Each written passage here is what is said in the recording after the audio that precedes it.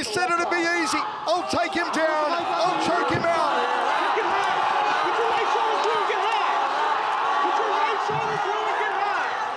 Beautiful takedown into the body lock, kept going until he got his back. Beautiful transition to get the back though, but this is what Reinier said he wanted.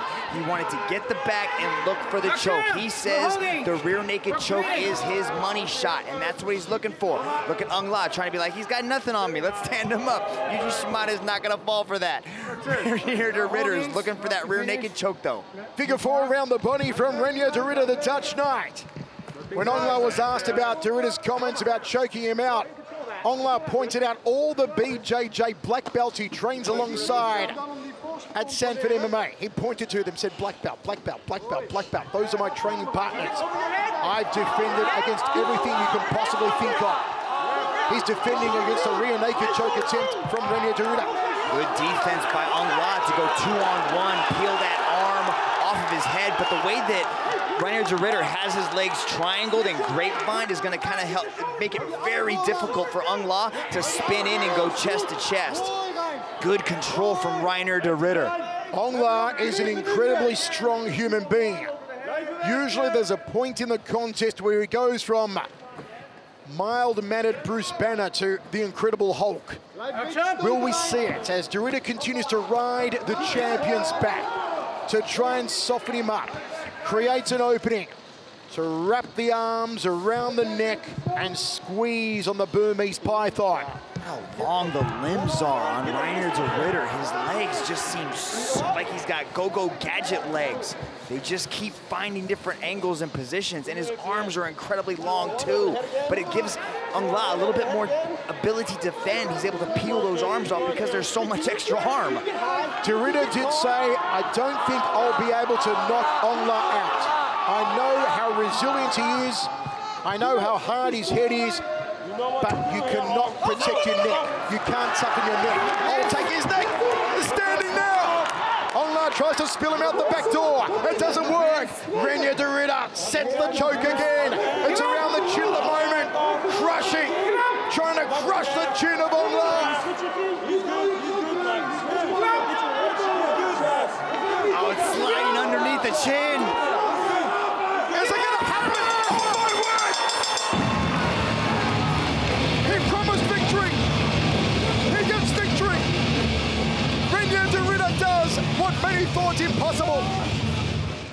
1 minuut 40 nog, tijd gehad.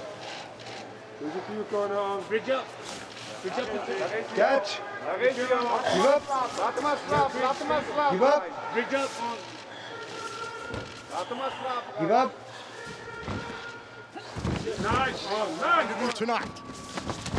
Looks immediately to take down Aung La and does. Oh, that was so simple. He stepped in, got nice and tight, and immediately went in for the double leg. Now, this is really important for Aung La. He's got to push off the head, get his back up against that wall, and start working his way back up.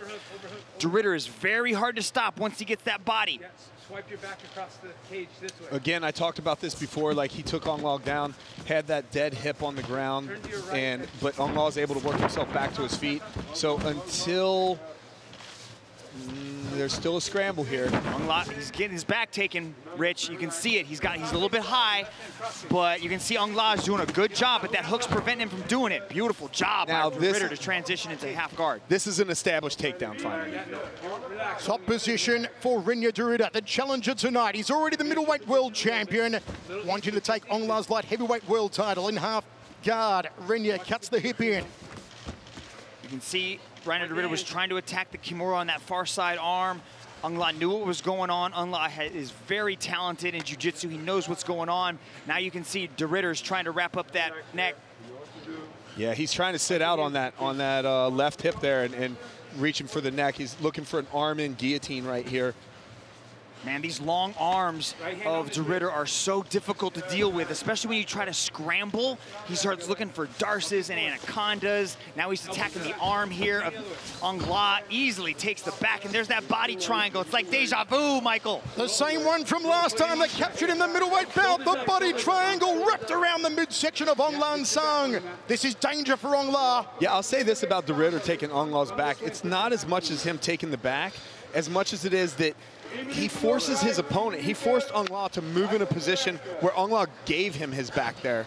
Aung La's got to get to the other side. See how he's leaning to the knee side of DeRidder? He's got to try to get to the locked side, that foot side, which is the other side, so he can relieve some of that pressure. DeRidder's got a nasty squeeze inside that body triangle. Still a long time to go. Two minutes 45 remaining. First round set for five. It's all one-way traffic right now to RDR. Yeah, Ridder does a good job with that left leg, lacing it behind or underneath, underneath the, the knee of Aung La or inside the calf there. So like Mitch said, he's got to get that foot. He's got to get de Ridder's foot on the ground, but he's got to get that leg laced out first. And you can tell with de Ridder's long legs, like this is a very difficult position to deal with for him. DeRidder said he would tap out Aung La inside of three minutes. How's the defense looking from Aung La tonight, Dragon?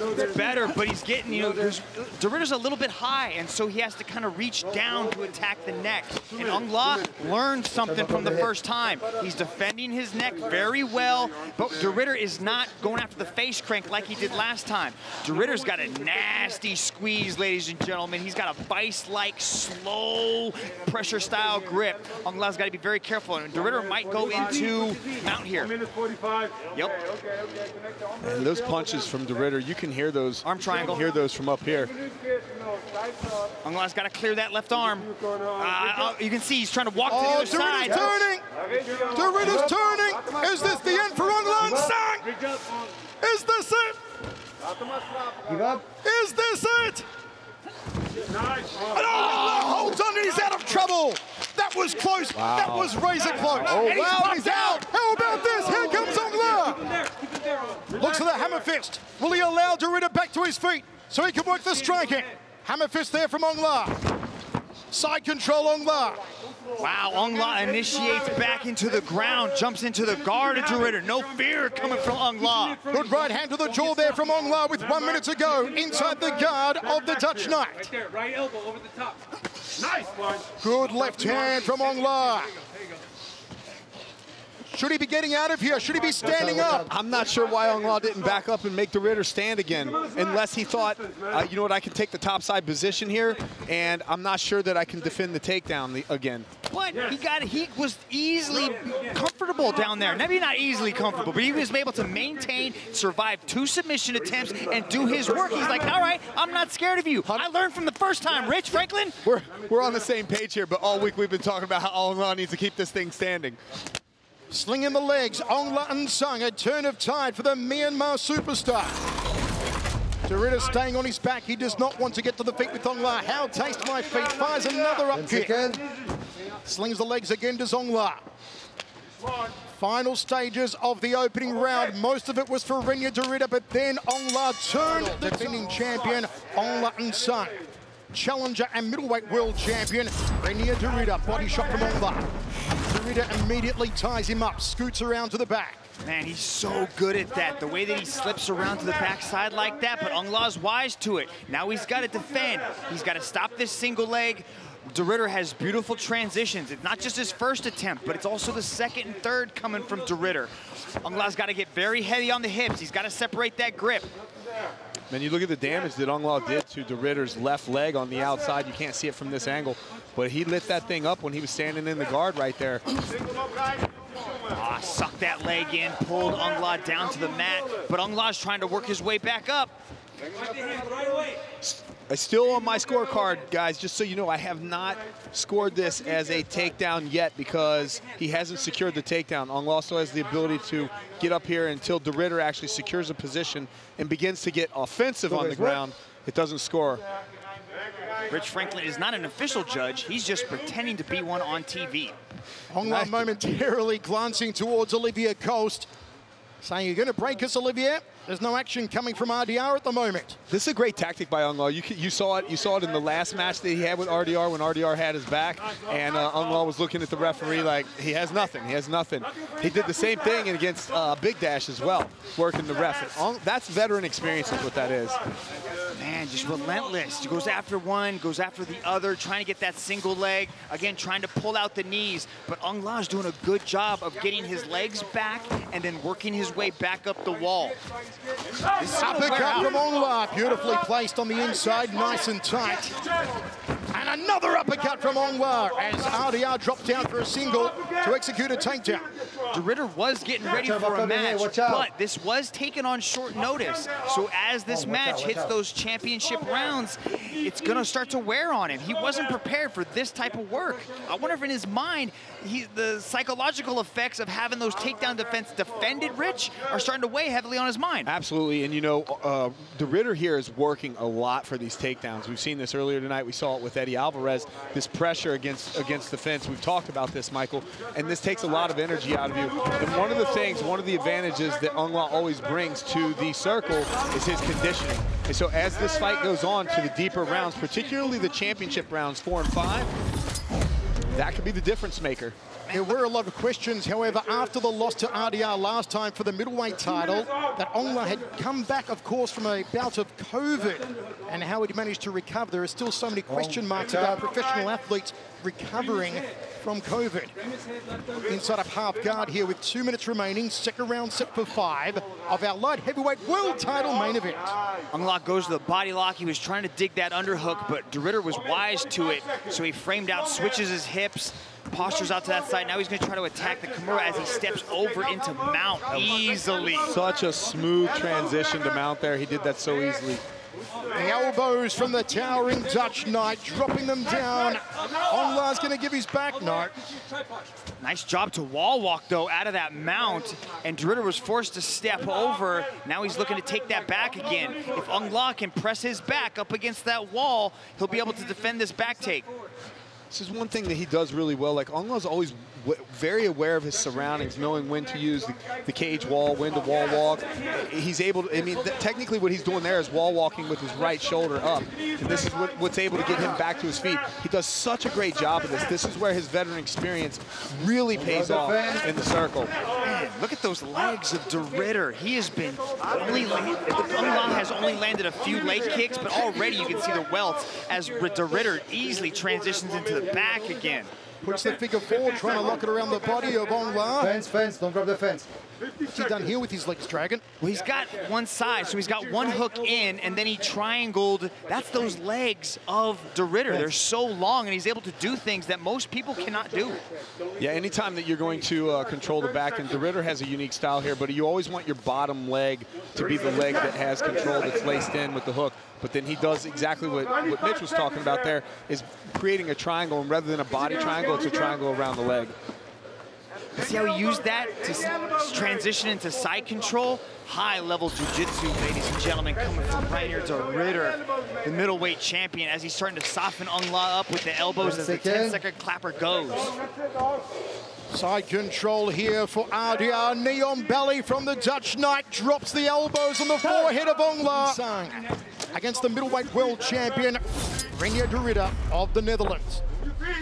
Rich, how do you see it after the first 10 minutes? Yeah, after 10 minutes of action, De Ridder, in both both rounds, he was able to land the takedowns, back control, and, and pretty much control the ground. Aung La had a, a, a, minute to a minute and a half of shining at the end of the first round, but it wasn't enough to, to really close any kind of lead. So it, in my cards right now, De Ridder has a pretty significant lead, and if this trend continues, obviously he's going to go with the with the victory here. But this is still anyone's match, obviously, because we do not judge on a round-by-round -round basis. Popping left hands there from RDR. Posting up with that right arm. La. Both men breathing hard here in the third. Lots of instructions coming from Henry Hooft and the team out of Sanford MMA from Florida in the corner of La and Son. Hustle here, like we do in the gym. RDR dragging the Burmese Python down, puts the hooks in, gets the back control. I expect the body triangle to come here pretty soon. You can see the way that RDR is trying to lace those hips. He's gonna take that leg, wrap it around him, pins him into position. Now this, ladies and gentlemen, just creates a tight squeeze on Aung La N Sang. Not only is he holding him there, and it's hard for Aung La to really get out of this, but it creates pressure on the stomach, and it makes it very difficult to breathe. Aung La now needs to shift his weight to the foot side. You can see how RDR is trying to keep him to the knee side, which is his right side. Aung La needs to go to his left so that pressure starts to diminish on the squeeze that he has on his body, and also starts to relieve some pressure so he can get out. I mean, we talked about Aung doing a better job with defense here. Obviously, this choke that he's threatening, that RDR is threatening with here, he's not in any real danger yet. Oh, that was very crafty with the heel kicks to the stomach, That right? hurts me watching that. But, you know, uh, Aung La's got to be careful here. This is round three. We talk about the championship rounds. That's where he always shines. But little by little, this match is starting to inch away from him.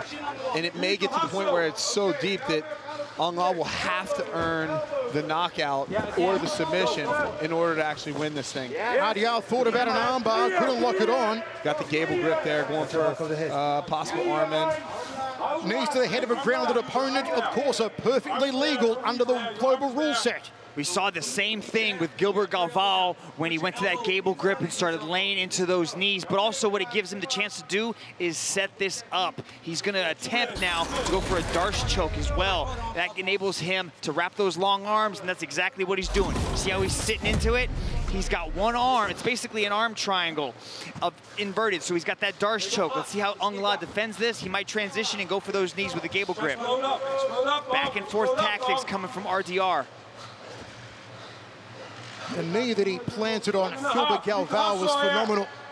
Trying to drive the patella into the side of the head here of Aung La. Well, it's just the way that De Ridder does has his control here. He's he's so heavy on top that in a in a situation like this, like Aung La is having uh, having trouble moving. But man, look at him showing pulling right out of that. Amazing. Tremendous from Aung La, glances towards his corner. They're giving him instructions, trying to talk him through this predicament. Backed up against the fence. 120 remains, third round of five. Yeah, Michael, you're, you said it right on the head.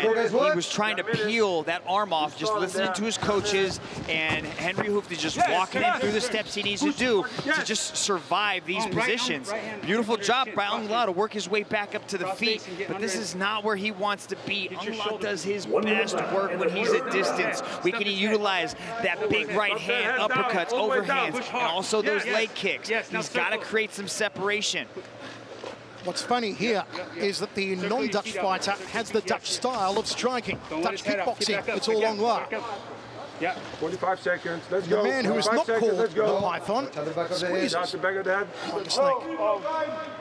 30 seconds. Yes, yes. Resting up on that Up, left arm Aung La. Up, fight your hands, 30 fight seconds hands, remains there. now in this round. Another big round for Reinier de Ridder, but once again, as Rich reminds us, we are scoring this as a 25-minute overall bout and not as five seconds. individual five-minute rounds. Yeah, I've spent some time. I've spent quite a bit of time on the mats with with Aung La. He's he's strong. So to see somebody like De Ridder just on top of him with pressure and Aung La having trouble moving him makes me makes me wish I could have a grappling session with de Ridder. Remember? Turn him on the cage. I wouldn't wish that on anyone. Aung La N Sang put people away, just like he did with Ken Hasegawa in that fifth round with that massive uppercut. Ken, Aung La N Sang is always in it, but he has to stop this. And this just looks like a replay from the first match that they had with that takedown. That one was slightly different, though. That was just a single leg. It quite Yeah, wasn't up to the switch and the body takedown. He did, he didn't transition to the lock. You are correct. 20 seconds in, Aung La gets taken down, put on his back. You know, at this point in time, I don't know if Reinier de Ridder has any submission attempts that Aung La hasn't seen yet. He's always got a bag of tricks, so don't hold me to that, ladies and gentlemen. Uh, Reinier de is a submission master, but Aung La N Sang needs to change this. It's good for him to be in half guard. He's got to try to get that underhook on that left side and start moving. You can see how his back is flat against the mat right there. That's not a good spot for him. The way that Reinier de Ridder has that underhook and steps over into mount, that's a bad spot for Aung La. I think the re part of the reason why De is able to step through like that is because his legs are so long. Like, you know, when Aung La brings that leg up from the bottom to try to protect himself from the, the step over into the mount, De Ridder's leg is just so long that he ends up missing it. Shoulders up. Ridder has the back of Aung La again, as he has every round. Will he slap on that triangle? We're working on it. Go. You can hear the heavy breathing, see the chest heaving of Ong La Sung.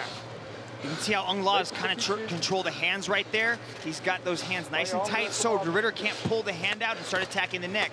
But just as I say that, De Ridder starts looking for the neck again. Aung La has definitely stepped up his submission defense, making it very difficult on Reinier De Ridder. But he's got to get out of this body triangle. He's got to start moving. This body triangle will make it even harder for Aung La to breathe, to fill his lungs. And Reinier glances towards his corner now. You talk about strategy of grappling as, as a fight wears on in the later rounds. Athletes, they're slippery. Things, it's more and more difficult to lock in certain submission holds. And that's why this body triangle is really beneficial for somebody like De Ridder because no matter how sweaty Aung La gets, you're just squeezed and trapped in that kind of thing. And so Aung La's going to have to really, really come up with some sort of real solution here because this match really is starting to run away from him. But Rich, we saw it in the third round. When Reinier De Ridder starts transitioning, starts to create these little bit of movements, Aung La was able to spin into the circle, which he's able to do right now. Yeah, but De Ridder's not off that back yet. But And there you have it. He breaks him right back down again. And that's the thing, you know, it, Aung La is an explosive athlete. He shows some glimmer of hope there, but that's just a testament to De Ridder's control and level of jiu-jitsu on the ground. Work. Hard strike to the side of the neck there from Reinier de Ridder. Triangle wrapped around the body again from the Dutch Knight. Under two minutes remaining in this penultimate round. Full position. What are the options for Aung La here, Dragon? Well, he's got the pressure to the right side, so you can see that he's on the foot side. That's where his body weight is leaning. But the way that Reinier de Ridder has the leg triangled makes it even more difficult for Aung La to move. See how his left leg is kind of trapped there? Now he's doing a good job of ex- mo- removing that, but as I say that, Reinier de Ridder transitions into full mount. Now the arm is in a bad spot. Aung La needs to clear his right arm because Reinier de is trying to drop that head down. Good job by Aung La to recover that. But then Reinier de Ridder's still on top. What dominance from RDR on the ground today. Fence, fence, fence, fence. He's mounted Aung La more times than a pommel horse. And you've got to wonder what can Aung La do with one minute remaining in the fourth of five. You know, I've been in these situations where you're just out grappled for a long period of time, you know, but it doesn't usually happen for 20 minutes solid where you're just outclassed and you really have to step things up. But Aung La carries that power into deep rounds, so he still has the capability to put RDR's lights out. But if the past 20 minutes have been any indication, I expect the fifth round to just continue with this trend. Yeah, we talk about we talk about Aung La's conditioning and, and how he performs in the championship rounds. But man, I mean, when you have somebody like De Ridder on top of you, I've never had De Ridder on top of me, but I'm picturing what it feels like based on what I'm watching here, and it's just a long time to carry that weight. But you have been out grappled before. When was that? Never, never, you've never been out grappled? I've never been submitted, Then sink in. not in a match. Geez, you're a brave man tonight, Mitch. I tell you what, little cocky calling out Rich Franklin like that. Final seconds of the round ends in full mount. It's been all De so far, and he shoots in for a single early. Aung La's got to try and keep it on its feet. He stays vertical for the moment, does Aung La. Fight the hand, grab I love it. Yeah, Aung La needs to start working in that underhook right there with the right arm like he just did. The round. This is where you need to hustle. Right arm. And there's the takedown. Aung La on his back with De Ridder on top inside of half guard. Not where Aung La wanted to be within 30 seconds of this last round. Yeah, Michael, it's just a master class from Reinier de Ridder, taking this match exactly where he wanted to, having very little resistance once this thing hits the ground, trying to pass the guard here. You can see how he has that left leg down there on the thigh. He's gonna try to take his right leg, pop that through, and then just sit right into full mount. Good job by Aung La to kind of relieve that pressure from the mount. I'm wondering where Aung La goes from here if de Ridder ends up taking this belt. Now de Ridder holds the belt in the light heavyweight class. He holds the belt in the middleweight class. And the question is, if Aung La actually had a full camp to prep for de Ridder, is it, would that be the, the difference maker because this was on a five-day notice? You think a rematch is warranted? Not at this point in time, but that's what I'm asking you. Where does Aung La go from here? It has never been done in history for one man to take another man's titles in two out, weight of the head, divisions. Is Reinier de Ridder now three minutes and 30 seconds away from making history? He's in the full mount again. yeah. Keep punching him down. Keep punching. Be smart. Trap. This would be a massive moment if de Ridder beats Aung La tonight. Shots to the side of the head from Aung La, but he's got to find a way to get off his back. Yes, yes, yes. Can Aung La get there now? Can he get to his feet? Top position for Aung La. You gotta finish Now has the pendulum swung. Push his chin. Get Push his his chin, they're saying posture up, work the ground and pound. Elbows, punches. Nice job by Aung La N Sang to explode out of the mounted position, and now he's working from the top. He's got two minutes and 45 seconds to really put something together because the lead, Rich, has got to be gigantic for RDR. Yeah, it's, it's huge at this point in time, and, and I agree with Aung La's decision to stay on the ground in the guard here, particularly after I saw that initial takedown defense that he attempted at the beginning of this round. But it's going to be difficult for him to get it done. It's going to be difficult for him to close the gap with enough damage or near finish or whatever. He's going to have to submit or knock out Reinier de Ridder in order to win this match with the amount of time that's left. There is no quit in Aung La N Sang. There is no surrender in the Myanmar superstar. But time is now a big enemy for him.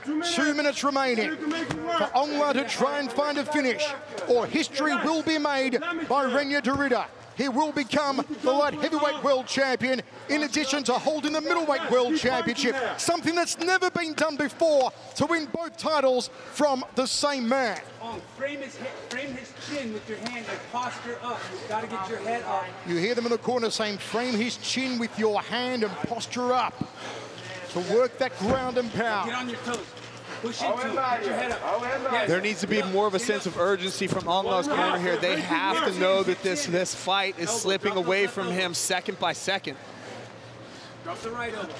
Close guard from RDR. Pulls the right hand out to Zonglad. Can't land it cleanly, however. RDR closes down the posture again of the champion.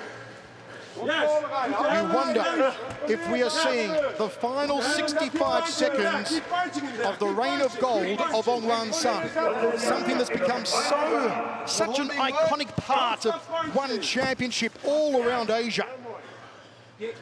They love him everywhere we go. They turn out in force to support Aung La. Look at de Ridder's mobility there. Hey, watch up. Stand up. Stand up. Yeah, you can see how was trying to overhook that arm and then try to get his hips outside to attempt possibly an arm bar. He's very mobile off his back. But at this point, he's got 30 seconds left. He's got a massive lead in just ground control and aggressiveness. But that's what I like about de Ridder. He's got 30 seconds left. He's clearly dominated this entire match, and it's not good enough for him. He's saying, nope, I want this, I want this submission. I want something. Aung La's trying, he's trying to land a heavy salvo in the final seconds, but again, those long arms reach up, they pull him down, they control the posture, he closes the guard. RDR shutting down Ong Lutton Sung. We are going to a decision here in Singapore in our main event. We may see the title change hands. new one light heavyweight world champion,